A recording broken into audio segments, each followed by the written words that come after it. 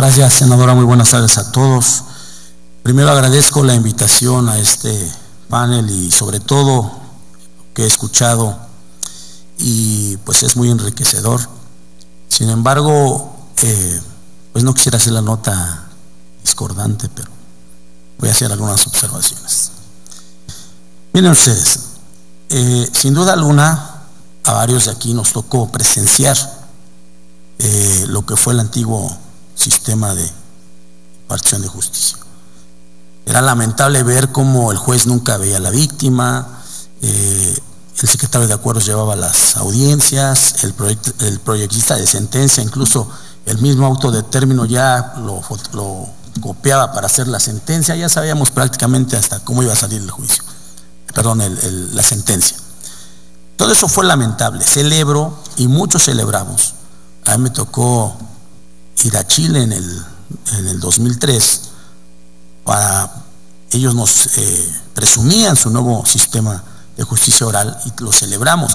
Nada más que había una pequeña diferencia. Chile en ese entonces, no sé, tenía cerca de 12 millones de habitantes en todo el país. Nosotros ya teníamos 100 millones de habitantes y no tenían los problemas que tenemos hoy. Y bueno, eh, sin embargo, todos pugnábamos por esta, por esta situación, porque se diera este cambio que fue radical, como ya se dijo, lo celebramos. Pero ya nos ha tocado legislar en materia local, federal.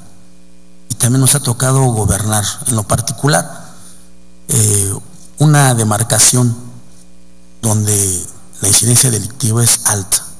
¿Por qué? Porque tiene colonias eh, muy marginadas, con mucha complicación social, como la Morelos Tepito, la Merced, colonias para nada más, eh, tal vez no las conozcan algunos de ustedes, pero tienen muchos problemas sociales. Y la gente lo primero que te pregunta es, delegado, gobernante, ¿qué está haciendo? Nos asaltaron ayer y ya otra vez está en la calle el delincuente. ¿Qué se está haciendo por la, contra la inseguridad?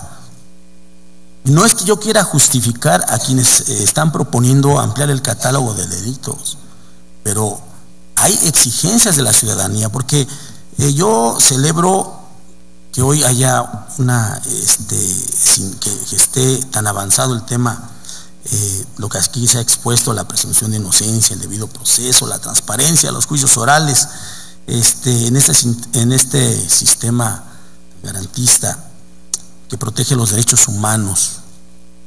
Pero mi pregunta es, ¿se están refiriendo a los derechos humanos del imputado o de la víctima? Sí, sí, ah, permítanme, denme, pero ese senador, por favor. Sí, porque digo, me da la impresión que están más preocupados por los derechos humanos del, imputado y los de la víctima. Bueno, pues este, pues este, eh, yo, yo lo digo así, y lo digo con todo respeto, con todo respeto para todos. Miren, yo en verdad he escuchado atentamente todas y he anotado algunas. Dicen, con esta nuevo, eh, y ojo, nadie está pugnando porque regresemos al antiguo sistema. La ley eh, no es perfecta, es perfectible. Se puede perfeccionar.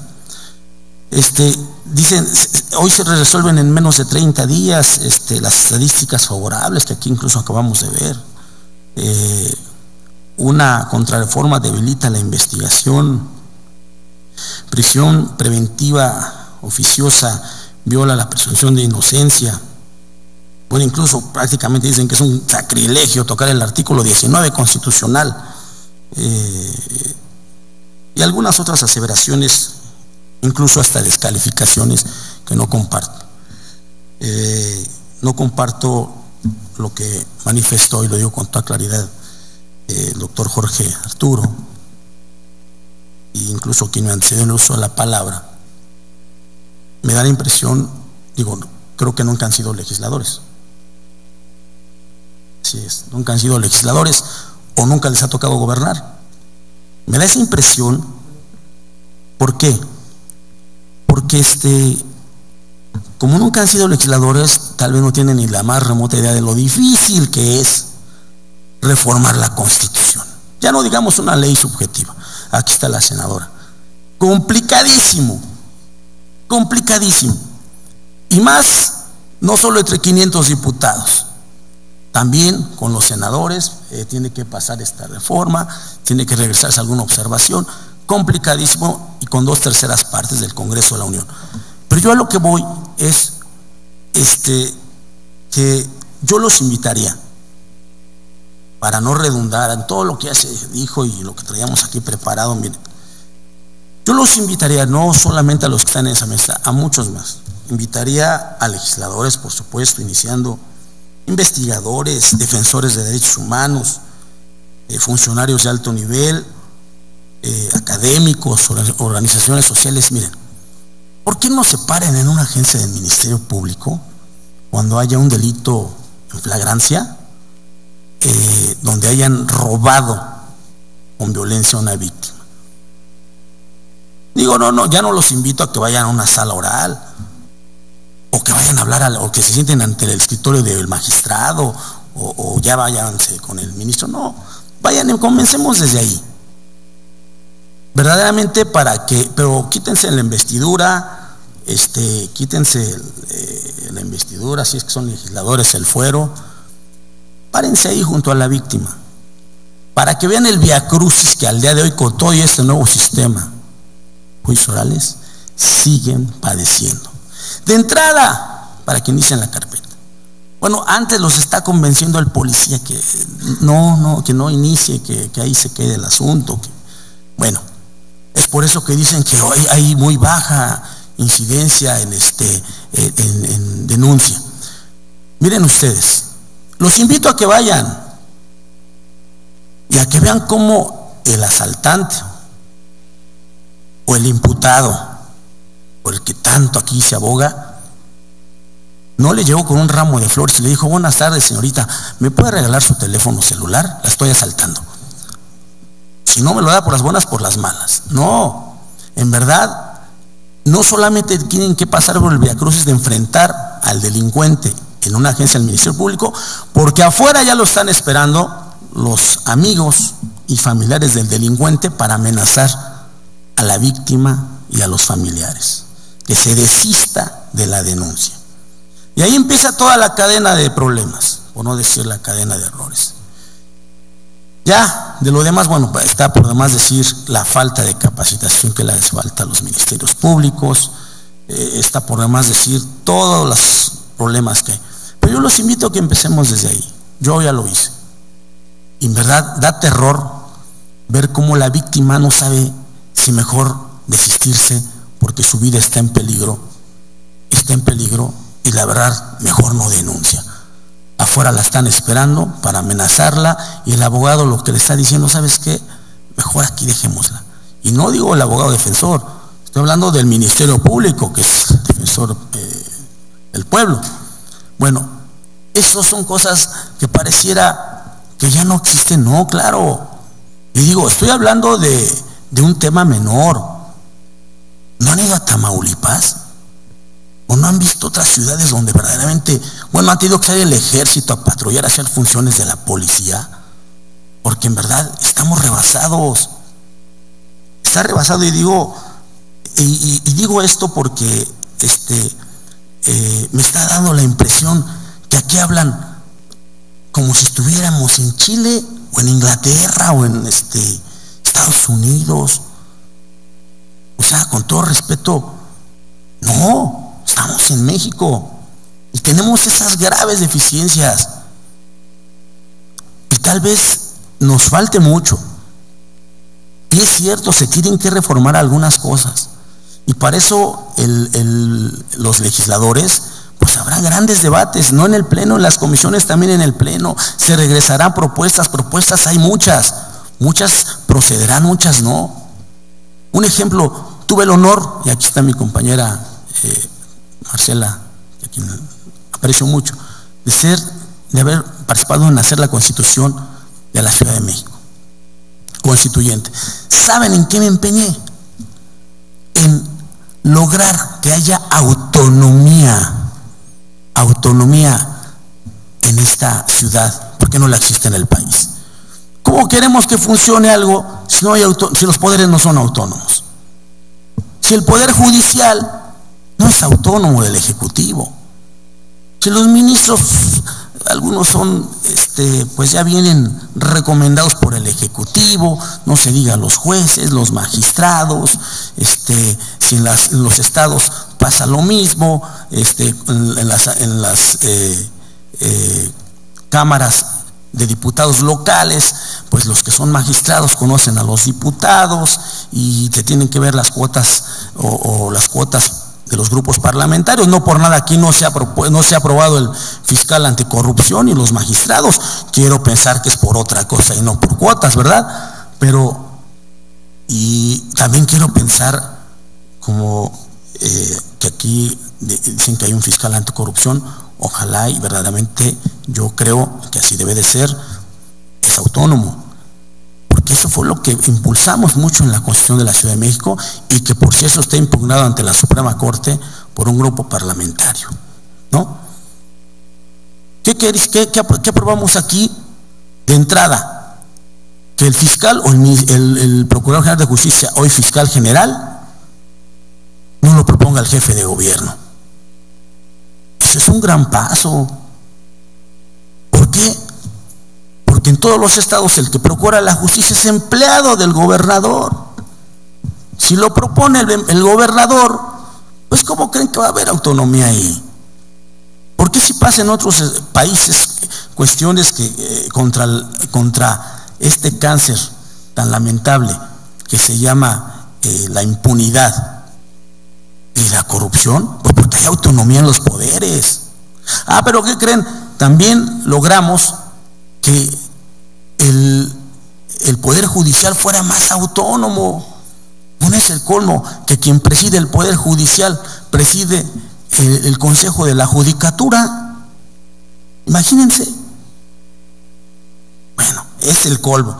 Lo logramos eh, quitar y en verdad se armó un escándalo. ¿Cómo era posible que estábamos atentando contra la esfera del Poder Judicial? Eso no podía ser. La estábamos invadiendo. Y ahí está la controversia. Y tal vez la Corte les dé la razón por una sencilla razón, valga la redundancia, pues porque les viene a dar el coletazo. Es como poner un ejemplo que es lo que se debe de hacer a nivel nacional, lo que se hizo aquí en la Ciudad de México. Porque nunca se va a acabar con la corrupción ni con la impunidad si no hay separación de poderes. Y esto viene a dar al traste con esta gran reforma, con este gran sistema, que yo lo celebro, porque los ministerios públicos no deja de haber asuntos de consigna. Y es lamentable. ¿eh? Porque en los juzgados no falta la llamada de alguien conoce al juez.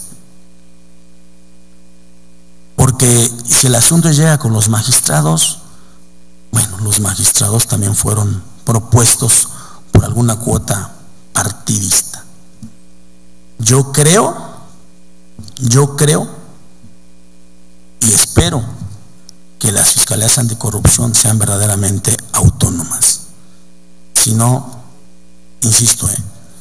¿Para qué estamos peleándonos por el 19 constitucional y todos los demás artículos si, si en el fondo, si no hay autonomía en nuestros poderes y mucho menos en un poder judicial tan importante, no menos que los otros dos, pues ¿cómo queremos entonces que funcionen las cosas? Sin duda hay propuestas y son subjetivas, importantes que se ampliaron no el catálogo de delitos en el artículo 19 constitucional, bueno, pues ya sería materia de una gran discusión y va a haber un gran debate. Tal vez en esta, urgentemente, en la siguiente, en el periodo, tal vez en la siguiente legislatura. Pero les pongo un ejemplo, miren, eh, eh, este, este sistema garantista, que, en el cual contamos con este catálogo de delitos de prisión preventiva oficiosa, esto lo hemos escuchado desde que inició, bien aquí lo dijeron, desde que se inició eh, en el 2008. Sin embargo, hoy esa, eh, lo que se quería buscar no se ha logrado. Y hay una siempre, también hay un problema. los delitos y toda la gente que está sentenciada y procesada y sentenciada del anterior sistema tienen que pasar de 30 a 35 años para el término de la prescripción de los delitos. Entonces no querramos, si Chile todavía sigue haciendo modificaciones, o no sé, si ya tienen un perfecto sistema, y me refiero a Chile porque es un, es este latino, un país latino.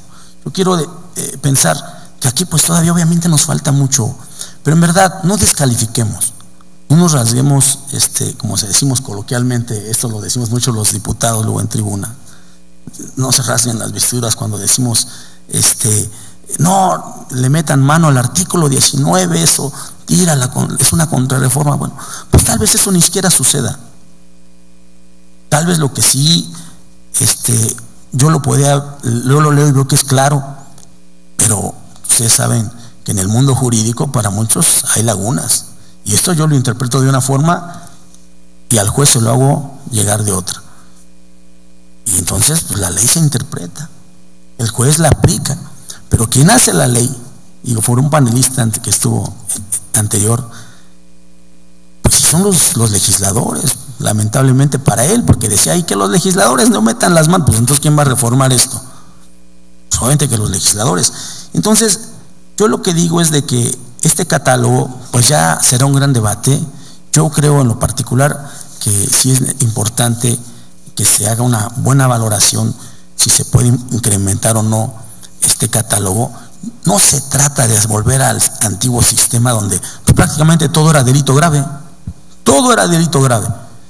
Bueno, robaste, era un gancito, sí, pero sacaste un arma, delito grave.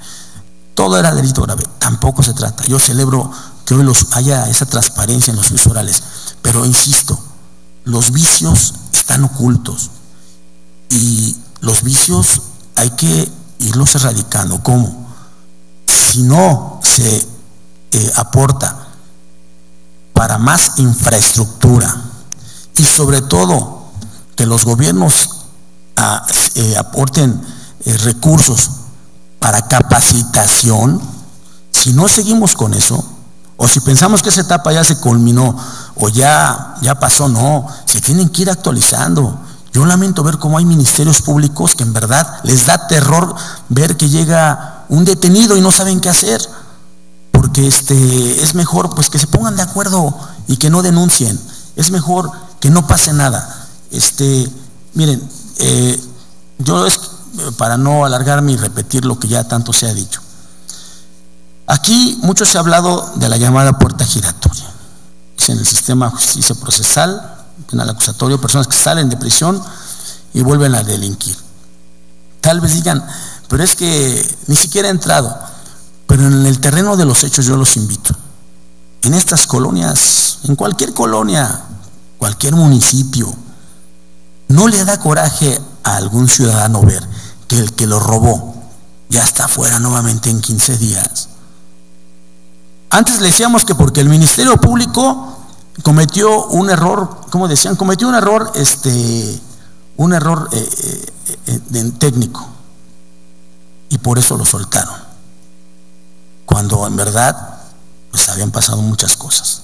Obvio, corrupción. Hoy, no me digan que este sistema está ajeno a la corrupción. Por supuesto que no. Entonces, en este sistema de pues obviamente la gente se enardece cuando ve que el delincuente vuelve a salir y, entra y sale, entra y sale y no pasa nada. Bueno, yo no, yo no entiendo por qué este, al día de hoy, y, y en verdad, al día de hoy, ¿por qué no existe la implementación de una base de datos a nivel nacional para la información que propicie la unidad de supervisión de medidas cautelares y suspensión condicional del proceso sea eficaz para que el juez de control esté en posibilidad de conceder salidas alternas como la suspensión condicional del procesado. Con información eficaz. Me pueden decir, no, si es que existe la plataforma México. Pues está de ornato o no sé de qué la tienen, porque con todo respeto, no es una base de datos actualizada, con información al minuto o al momento, ya que al no estar actualizada, pues no es funcional. Es increíble.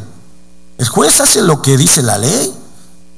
Pues ¿cómo, cómo vas a ver si eh, el que está, el imputado, pues ya se cambió de nombre y ya nada más ven que no hizo nada, pues lo vuelven a dejar salir. Este, otra, otra cuestión que es, verdaderamente, yo no, yo no entiendo, creo que es en materia de una reforma, el Ministerio Público. Un claro ejemplo que encontramos en el proceder, eh, en el procedimiento abreviado, el cual se deja, ¿por qué se le deja exclusivamente al Ministerio Público la facultad para que pueda solicitar al juez de control? Este, y no así a la víctima y una forma de terminación anticipada que permita al imputado de gozar de un beneficio ante la renuncia de su derecho a tener un juicio oral. Es decir, esto nada más facultad es del, es del Ministerio Público, no de la víctima. Yo creo que eso sí merece una reforma y no tiene que ser al artículo 19 constitucional, ¿eh? esto es una ley secundaria. Pero son, sí hay que hacer reformas porque en el terreno de los hechos las cosas no están funcionando como creemos o como quienes le hemos apostado y me, me, escribo, le hemos apostado a que este sistema funcione. Y digo esto porque, insisto, eh, la gente y la ciudadanía en la calle percibe otra cosa. No percibe una verdadera procuración y mucho menos impartición de justicia que en verdad le haga justicia, vuelvo a redundar, a la víctima. Sienten como que le hace más justicia al imputado, sienten como que, eh, vamos, ahora es muy sencillo que todo mundo esté libre, este, eh, al, después de haber cometido un delito, y creo que es donde se va a tener que enfocar en hacer varias modificaciones o no el legislador. Y en verdad, miren, es un gran trabajo, un arduo trabajo. Yo creo que yo no estoy de acuerdo con las descalificaciones que se hacen. Al contrario, yo también celebro que haya organizaciones de derechos humanos que están muy preocupadas por el avance, pero yo creo que también eh, apostemos a que también hay buenos funcionarios, que hay que, hay que capacitarlos y los malos, por supuesto, se tienen que ir. Pero ¿cómo? Pues tenemos que ponerles candados desde la ley. Te agradezco mucho, senadora, compañeros. Espero haya sido respetuoso con todos ustedes. Gracias.